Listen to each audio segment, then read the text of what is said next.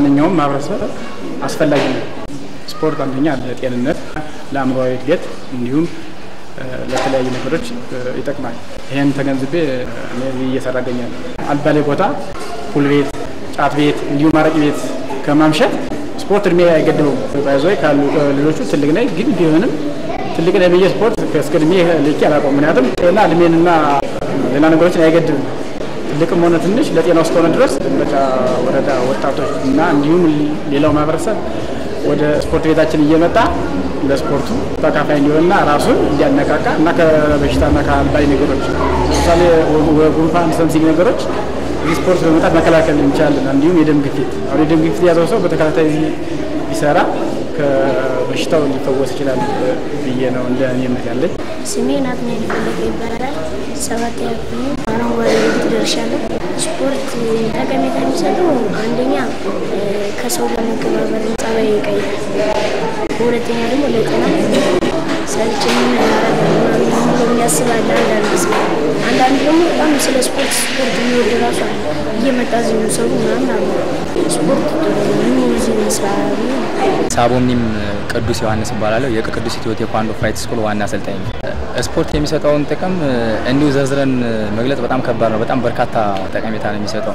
እንዲሁ በቀላሉ ለመግለጽ ያክል በግለሰብ ደረጃ እንኳን የተስተካከለ አቋም፣ የዳበረ ሰውነት፣ የንቁ አእምሮ ባለቤት እንዲሁም የዳበረ ሰውነትና በተሰለፈበት ሙያ ሁሉ አርአያ ሊሆን የሚችል ወጣት የሚፈራበት የስፖርት ተቋም ነው። specially ቴኳንዶ ደግሞ ከማህበራዊ ግብረ ገብነት ጀምሮ እስከ አጠቃላይ የግል ህይወት ስኬታማነት ድረስ ለግል ጥቅም የሚያደርገው አስተዋጽኦ በጣም ከፍተኛ ነው እና በሀገር ደረጃም ስናይ ደግሞ ቴኳንዶ አሁን ላይ በማንኛውም የእድሜ ክልል የሚሰራ እና ዘመናዊ ይዘቱን ጠብቆ የሚሰራ ስፖርት ከመሆኑ ጋር ተያይዞ ለማንኛውም ማህበረሰብ recommend የሚደረግ ወይም የሚመከር ስፖርት ነው እና ስፖርት ከግለሰብ ጥቅም አልፎ ለሀገር ሰላም፣ ለአንድነት፣ ለደህንነት እንዲሁም እርስ በርስ ፍቅር ለመስራት ለመገናኘት ማህበራዊ እና social interaction ኣችንን በተሳካ መልኩ ለማገናኘት በጣም ከፍተኛ የሆነ ጠቀሜታ አለው።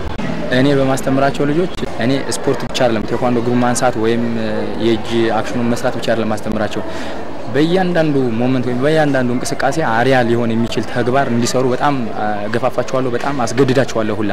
እነሱ ግን እኔ ማስገድዳቸው እንደ ግዴታ ሳይሆን ፈልገውትና አንድ የህይወት መርህ አድርገው ነው እየሰሩት ያሉና አካባቢያችን ላይ specially ቴኳንዶ በቴኳንዶ የሰራናቸው ስራዎች በጣም በርካታ ናቸው። በዚህ በደንበጫ ከተማ የሰራነው ውጤት ወይም እኔ በዚህ እድሜ የሰራሁትን ውጤት ለማውራት ቀላል ሊመስል ይችላል። practically ስራውን ለመስራት በጣም ከባድ ነው እና በጣም ትላልቅ ስራዎችን ሰርተናል። እኛ ወረዳ ሻምፒዮና ጀምሮ ሳይሆን እኛ እስከ አፍሪካ ሻምፒዮን ድረስ ብሔራዊ ቡድን ወክረው አፍሪካ ሻምፒዮን ድረስ የተወዳደሩ ስፖርተኞችን አፍርቻለሁ። ሀገር አቀፍ ውድድሮች ላይ በጣም በርካታ ሀገር አቀፍ ውድድሮች ላይ እንወዳደራለን። የኢትዮጵያ ዋናው ብሔራዊ ቡድንና እንዲሁም ለወጣቶች ስፖርት አካዳሚ ለኢትዮጵያ ስፖርት አካዳሚ ግብዓት የሚሆኑ ልጆችን አፍርቻለሁኝ። እዚህ ደንበጫ በ2005 ዓመተ ምህረት ስፖርት ቤት የከፈትኩኝ ከዛ ጀምሮ የተካሄዱ ውድድሮችን በሙሉ 2008 ላይ ነው ዋንጫ የተበላ ነው እንጂ በሙሉ ዋንጫዎችን እኛ የደንበጫ ከተማ ነው የሚወስደው። በስምንት የስፖርት አይነት እንወዳደራለን ደንበጫ ከተማ ከዘጠኝ ከስምንት የስፖርት አይነት አንዱ world ቴኳንዶ ነው። world ቴኳንዶ ግን በምንም አይነት parameter ውጤት miss አድርጎ አያውቅም። እኛ ጋር ያለው ውጤት ከቃላት በላይ ነው። የምር በዚህ እድሜም በዚህ ከተማ መስራት አይቻልም። ይህን ውጤት እንደ ደንበጫ ከተማ ብቻ ከ45 በላይ የወርቅ ሜዳሊያዎች ለምዕራብ ጎጃም ከ20 በላይ ለአማራ ክልል እንዲሁም ከ16 ወይ ከ17 በላይ የወርቅ ሜዳሊያዎችን አስገኝተናል። even አሁን በ2012 እንኳን ብሔራዊ ስፖርት አካዳሚውና ሀገር አቀፍ ስፖርት world ቴኳንዶ ፌዴሬሽን ያዘጋጃቸው ውድድሮች አሉ። እዛ ላይ ለብሔራዊ ቡድን ያስመረጥናቸው ልጆችም አሉ። አሁን በዚህ በ2012 ማለት እና አሁንም ብሔራዊ ቡድን ላይ እየሰሩ የሚገኙ ልጆች አሉ፣ የኛ ልጆች ማለት ነው። ከምንሰራበት አዳራሽ በነፃ ነው ሰጠውን እየሰራን ያለ ነው። ከተማ አስተዳደሩን ማመስገን እፈልጋለሁ። በነፃ ነው የምንሰራበት። እንዲሁ የተሻለ ነው፣ በአንጻራዊነት የተሻለ ነው። ይህን አዳራሽ በነፃ ፈቅዶ መስራታችን ሌላው ስፖርት ጽህፈት ቤት ላይ የነበረው ድጋፍ በጣም አነስተኛ ነበረ። አሁን ላይ የተሻለበት ሁኔታ አለ። እንዲሁም አሁን በትኩረት ይከታተሉናል፣ ሊያግዙንም በጣም ፈቃደኞች ናቸው። ከተማ አስተዳደሩም እንዲሁም በቅርብ ቦታ ይዘታ ጠይቀን ነበረ። አንድ ሺ ካሬ ሜትር ቦታ ሰጥቶናል እዚህ ስቴዲየሙ ፊት ለፊት። በዚህ አጋጣሚ ይህንንም ከተማ አስተዳደሩን በጣም አመሰግናለሁ። በቃ በዚህ ሰዓት ትምህርትና ስፖርት መዳኛ ነው። ቴኳንዶ ቢሰሩ ደስ ይለኛል እንደኔ ማለት ነው። ብዙ መስራት ይቻላል በቴኳንዶ ነገር ግን የእግር ቴኳንዶ ይስሩ አይደለም፣ ስፖርት ይስሩ። ማንኛውም አይነት ስፖርት ይስሩ። ስፖርት መዳኛ ነው። የአሁን ትውልድ እንደምናየው ትምህርት ወዳድ አይደለም፣ ስፖርት ወዳድ አይደለም። በጣም ለባዕድ ነገሮች አዲክት የሆነ ወጣት ነው። ከዛ ነገር ተቆጥበው ያላቸውን እምቅ አቅም በዚህ ሰዓት ያንግ የሆነው ወጣት ብዙ ስራ መስራት ይችላል እና ወደ ስፖርት ዓለም ወደ ስፖርት መድረክ መጠው የተሻለ ስራ መስራት ራሳቸውን መቀየር ይችላሉ። ከተለያዩ ነገሮች ካልባሌ ቦታ በማህበረሰቡ ዘንድም የተመሰገኑ ወጣቶች መሆን ይችላሉ። ተቋሙ ዘርፈ ብዙ እንቅስቃሴ ነው ያለው።